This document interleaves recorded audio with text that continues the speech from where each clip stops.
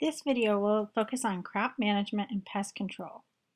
We will delve into some of the basic pests and talk a small bit about some basic diseases that happen in some of our annual fruit and vegetable crops. Historically, we have used pesticides and herbicides as a means to get rid of pests and weeds that we have in our annual fruit and vegetable production systems.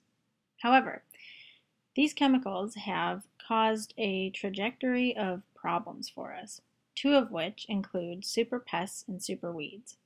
Both are evolved and mutated versions of pests and weeds that are resistant to these synthetic applications. Therefore, in non-chemical systems, we have to work extraordinarily hard to control different pests and weeds. Some techniques and practices that are used with organic permaculture or different types of non-chemical agriculture involve imitations of natural systems, some including using beneficial insects, creating habitats for natural enemies, plant placement for weed control, and weed suppression through different techniques like sheet mulching. Some of the very common pests in an organic or non-chemical annual fruit and vegetable system are the tomato hornworm, the cabbage worm, whiteflies, aphids, and thrips. The tomato hornworm is specifically for the Solanaceae family and mostly is going to be attacking your tomato plants. The cabbage worm spans from a variety of different brassica vegetables. And those range from your broccoli, cauliflower, kale to cabbage. Whitefly aphids and thrips are less discriminatory and they are often attacking leafy greens. They can also attack your root vegetables and uh, oftentimes even attack some of your cucurbits. This here is an example of what, what a white cabbage worm looks like.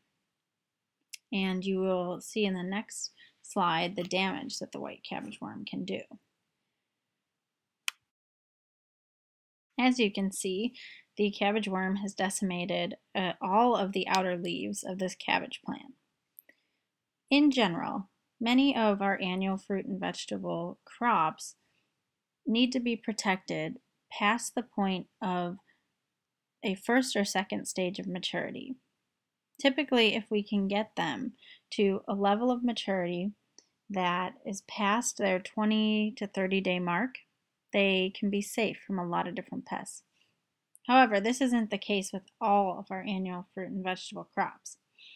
Therefore, we need to implement a variety of different practices to keep pests from damaging the crops as badly as this one is. One method of controlling your pests is to use a non-synthetic pesticide. There are a variety of different types of non-synthetic pesticides, and I will go through a few examples and we will cover even more in our lecture. Another example of a way to control them is to use biological pest control. Biological pest control is a term for any sort of method that imitates a natural version of pest control within whatever environment you are in. So for example, there are beneficial carnivorous insects that will eat the pests that are damaging your crops. You can introduce those into a system, and that is a way to try to control your pests. Other examples of that are parasitoid insects that will uh, act as a parasite and kill whatever pest it is you are trying to eliminate. The last example of biological pest control is habitat manipulation. So habitat manipulation is changing your habitat to increase natural enemies of your pests. The next thing that you can do is use some sort of deterrent. Oftentimes these are flowers, other vegetables, or some sort of spray that you create that will deter your pests.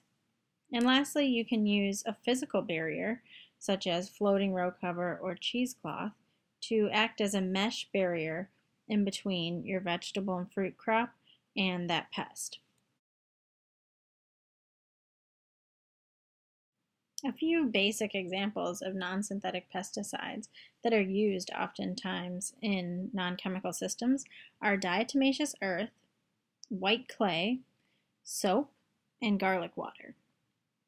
All of these are natural examples of ways to keep away pests. Diatomaceous earth is typically used on slugs or different types of worms that could potentially be damaging your crops but are uh, basically within the soil at some level.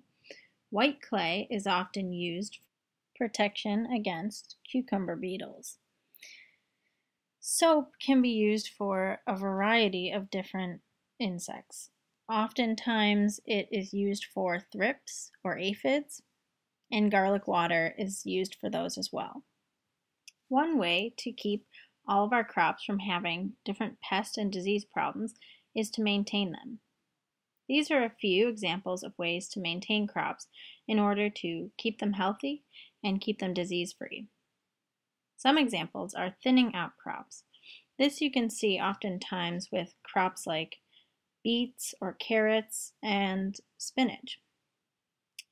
Pricking back or pinching back is another way to keep crops with high yield and low disease. Trellising and supporting vining crops like cucumbers, squash, or tomatoes can also help with circulation and moisture levels in order to keep them from getting any sort of disease that is easily contractable from those different levels. Another way to manage our crops is to use some field methods that we may already use in order to design our systems efficiently.